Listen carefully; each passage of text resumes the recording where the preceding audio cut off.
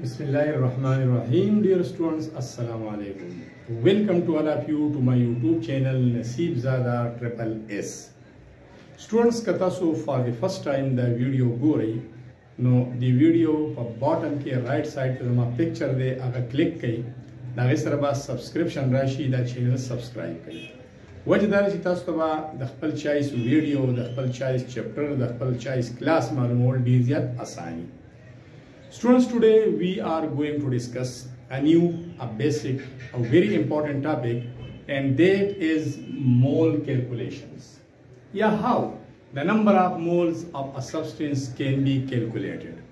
ډیر امپورټنت ټاپک دی سټوډنټس ډیر کنسپچوال ټاپک دی او لاست ټاپک دی د چپټر نمبر 1 کلاس 9th دی باندې یو ویډیو الریډي موجود هم ده هغه کې فارمولا زمونږ لیکلی وو ورن دا غیر ډیټیل طرف ته ځو سټوډنټ چې کله موږ نمبر اف مولز کیلکولیټ کوو یا فایند اوټ کوو نو مولز به موږ کیلکولیټ کوو فرام د ګیون ماس نه موږ ته به ماس راکړی چې د دې سبسټنس دومره ماس دی مولز پکې څومره دي یوه دویم به موږ ته راکړی نمبر آف پارټیکلز مطلب مالیکیولز به راکړي اټمز به راکړي آینز به راکړي فارمولا یونټس به راکړي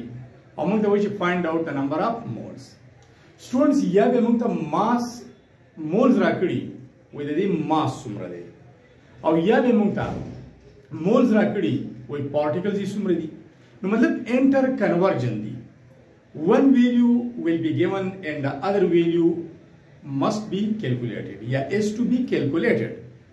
یو به ګیون ویلو وي او باقي ویلو به موږ څنګه کیلکولیټ کوو خو نمبر اف مولز کیلکولیشن لپاره چې کوم فارمولا یوز کیږي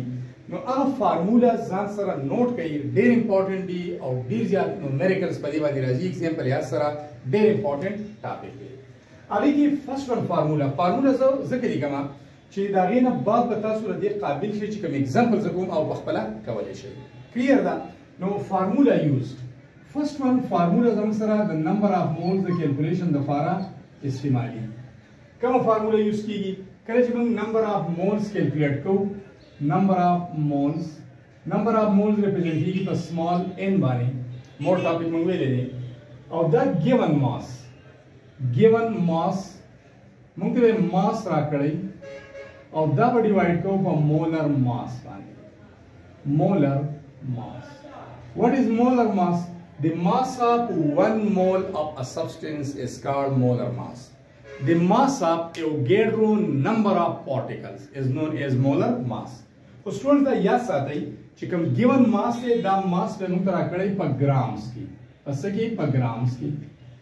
ځکه چې مولر ماس لپاره موږ یونټ استعمالو ګرامز پر مول نو بره به هم ګرامي ښکته به هم ګرامي یونټس به سیم ساتو هم که دا ماس یې موږ ته په کیلوګرامز کې راکړی نو بیا به دغه کیلوګرامز کې چې څومره ماس دی په تاوزنډ به ملټیپلای کوئ ګرامز ته به کنورټ کوئ کلیر ده یو دا فارموله یوز کیږي اوس سټوډنټس د دې فارمولې نه تاسو د بل فارموله ډیرایو کولای شئ اب دویمه فارموله دا ده چې که فرض که تا ته نمبر اف مولز درکړي او تا ته چې واټ از د ماس اف 5 مولز اف کاربن ډای اکساید مولز ګیون دي ماس معلوم کا نو بیا ته کیلکولیټ کولای شي دا ماس په خپل ځای پاتې شو ماس از ایکوال ټو دا په خپل ځای مولر ماس په ډیویژن کې د خو راغی د ان سره به ضرب شي ان ملټیپلایډ بای مولر ماس دا فارمولا یوز کولای شي بیا دریمه فارمولا که فرض کړه موږ نمبر اف مولز معلومو نو دا غي دویمه طریقه دا چې موږ ته نمبر اف پارټیکلز راکړي نمبر اف مالیکولز به راکړي نمبر اف فارمولا یونټس به راکړي په دغه کې نمبر اف مولز به موږ کیلکولیټ کوو نو دا غي لپاره به دا فارمولا یوز کیږي چې نمبر اف پارټیکلز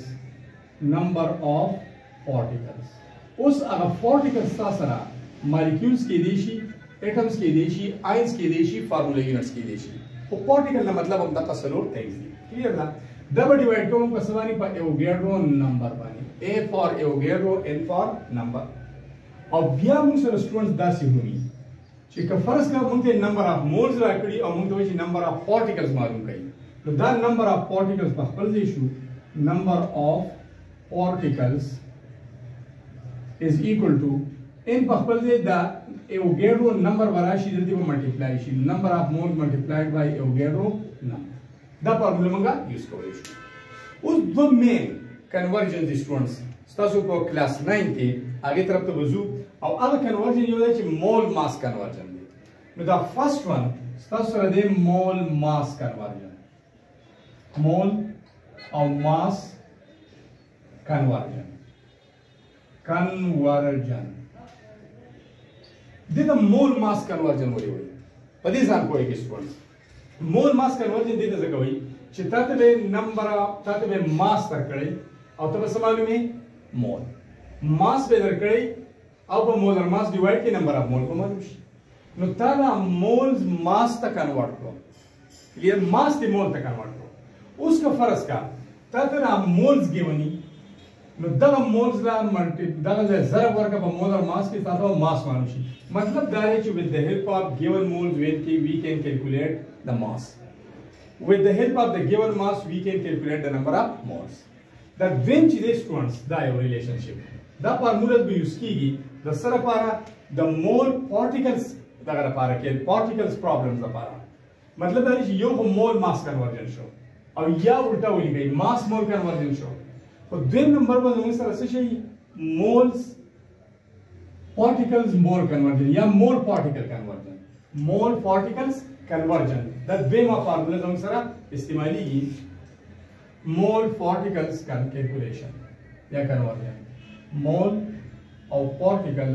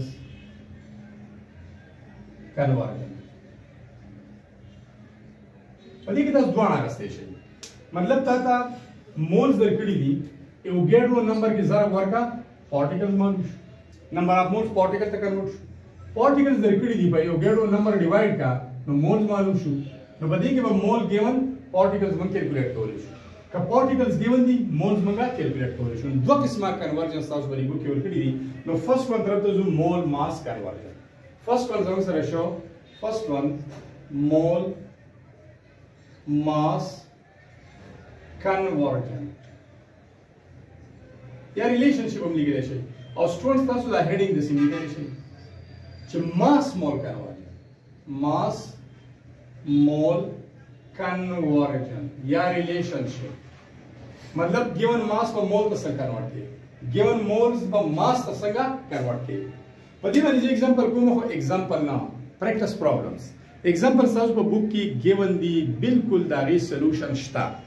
په چې کوم پریکټس پرابلمز دي تاسو هوم ورک دي اساینمنت دي نو زبا هغه طرف ته ځم نو یو تاسو پریکټس پرابلم داري پریکټس پرابلم کوم چې تاسو بوک کې دي پریکټس پرابلم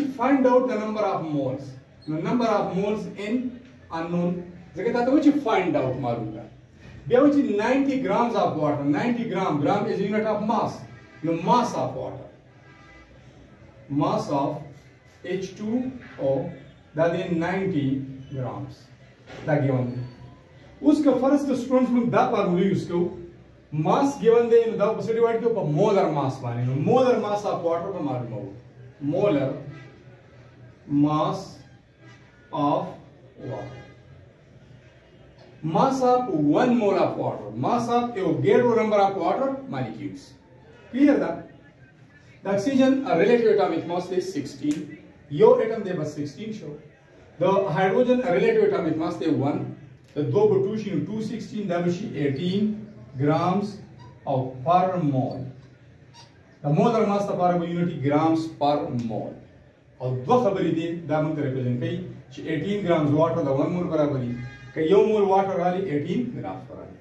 اوس سټوډنټس تاسو فارمولا یوز کړئ ویری فرست فارمولا فارمولا نمبر 1 فارمولا نمبر 1 ټاپ ته وګورئ هلته تاسو یو فارمولا درکړې ده او هغه فارمولا چې کله نمبر اف مولز موږ معلومو نو موږ بس کوو ګیون ماس پر ډیوایډ کوو په مولر ماس نو ګیون ماس او ډیوایډډ بای مولر ماس دا فارموله موږ ته راکړي کلیر ده اوس ګیون ماس سټوډنټس موږ سره څومره دی هغه تاسو په خپل د کوېشن نه کتلی شئ چې 90 ګرامز دی دا ګیون ماس دی نو تاسو به 90 ګرامز ولیکئ divided by molar mass the water molar mass 18 grams of per mole دا شو بیا سټوډنټس نیکسټ کلاس 1 دا ګرام یونټ وا د ګرام سره کینسل شي ځکه هم تاسو ته وې چې دا ماس په په ګرامز کې ځکه چې مولر ماس مو سره په سر کې راځي په ګرامز پر مول دا به شي 18 پنجینه وین دا به شي 5 اوس دې باندې ځان پوه کړئ چې دا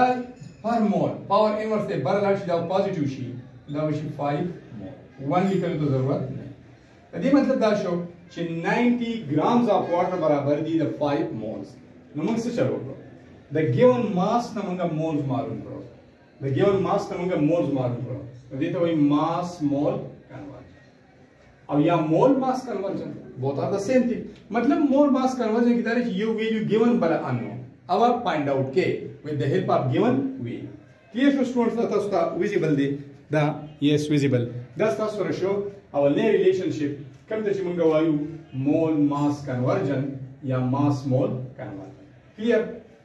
راځو دویم طرف ته دویم کروجن زموږ سره څه دی دویم دویم موږ سره دی دا چې موږ لیکل دی پارټیکل پرابلم چې کله دا کې نو هغه دا دی مول پارټیکل کنورژن یا پارټیکل مولز کنورژن یو شی دی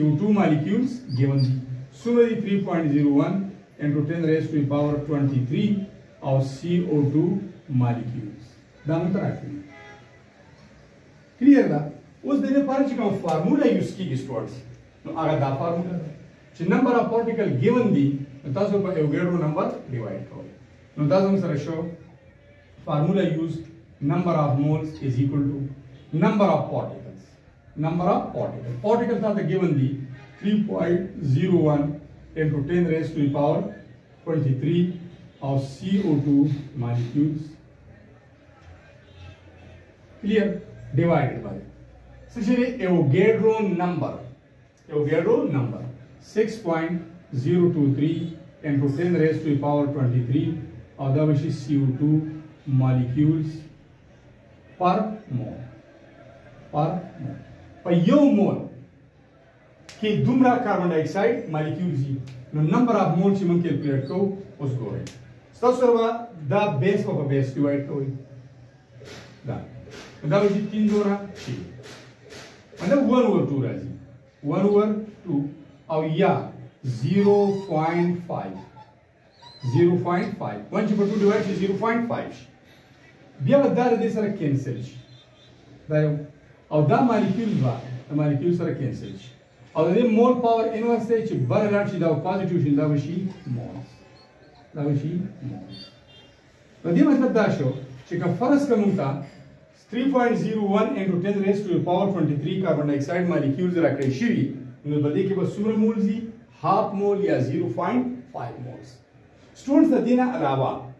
تاسو دا بل هم کولای شئ چې کله نمبر اف پارټیکلز معلوموي نو باقاعده به تاسو څه شي درکړي تاسو ته نمبر اف مولز درکړي نو که په دې باندې تاسو کوېشن کول غواړئ نو په دې باندې هم زه یو کوېشن تاسو ته کوم چې دا مسله بالکل کلیر شي بالکل کلیر شي